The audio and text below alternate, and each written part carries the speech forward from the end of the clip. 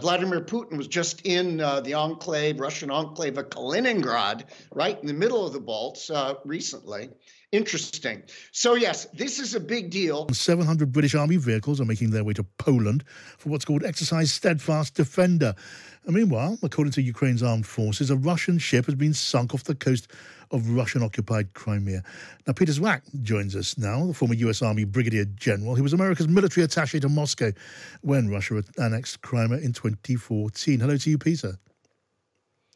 Yes. Um, good afternoon, John, and and to your uh, your viewers. Oh, welcome, welcome to the program. Can you tell us a little bit about this exercise? Preparing, is it for a conventional invasion, if that if that is an appropriate term? The idea of Russian troops pouring across the border into NATO territory.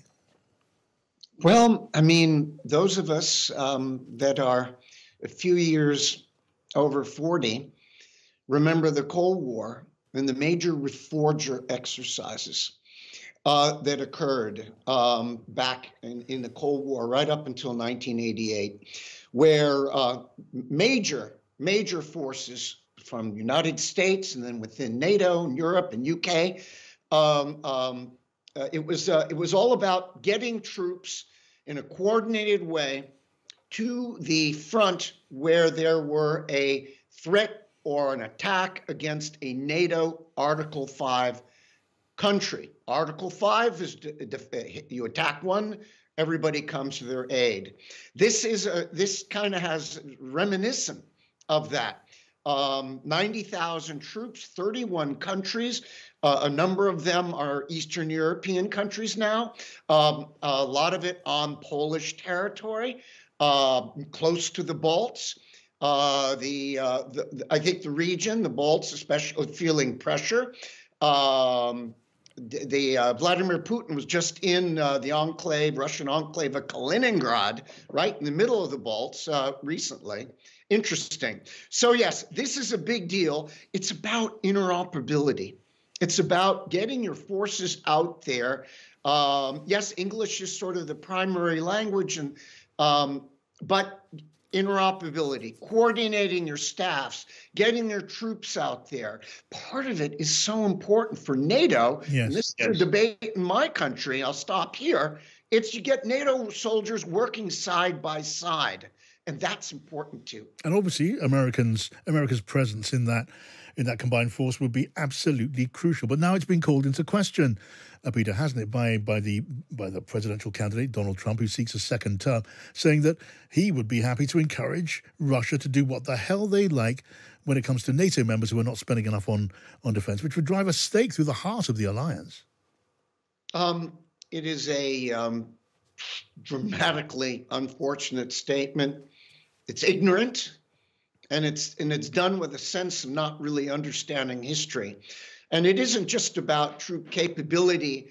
Um, it's about confidence because first and foremost, NATO is about an idea, collective defense, and anything that is stated that could shake the the credibility or the feeling of a country close out there that uh, if the bad guys attack, that NATO isn't coming to their aid, hmm. that starts to shake the whole line. It was NATO that came to the United States' uh, support in 2001 after 9 11.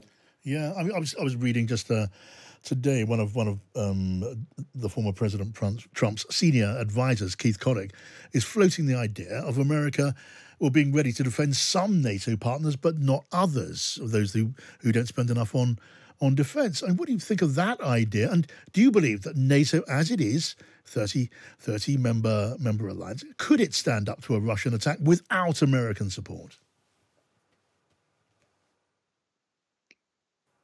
Actually, if Europe puts its head and shoulders into it, um, yes, because in the aggregate, Europe is bigger, uh, not in size, but in uh, population, in in in uh, resources, um, and one would want to believe there would be the will to fight.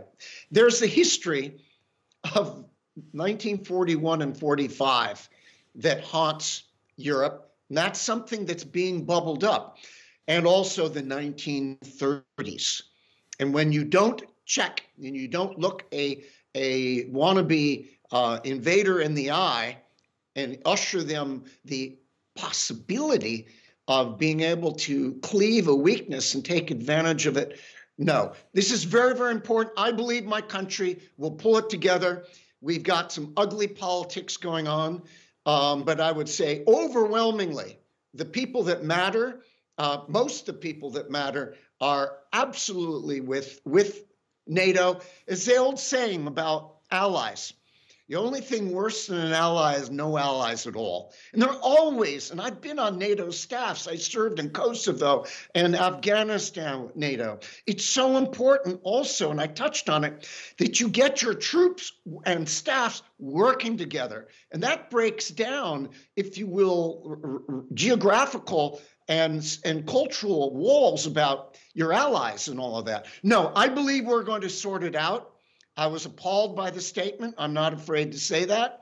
And um, but I, I I got to believe that in the end, uh, even even on the opposition side, many of them bipartisan that that were afraid, uh, were for NATO, but had been a little bit cowed by the politics on the right. Um, I think that we will uh, reassert it. We will we will hold the course. I'm just unfortunate that now this has shaken European um, assurance. By the way, what is Taiwan thinking? And maybe given a little bit of succor, a little bit of uh, of motivation or or or you know encouragement to Vladimir Putin, um, and, whose one of his main objectives is exactly that with Ukraine was to uh, to cleave the alliance and separate us, divide us. Peter Zwack, former United States Army Brigadier General. Good to get your opinion on the program as always, Peter.